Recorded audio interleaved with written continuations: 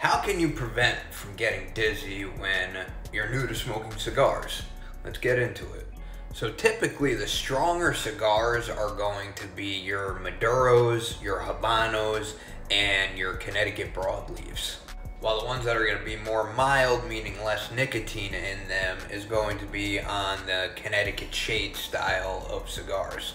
The dizziness is coming from the nicotine in the cigar and your body not being used to it being a new smoker. So you want to start out using a smaller light cigar. Robusto is a great size to start off with.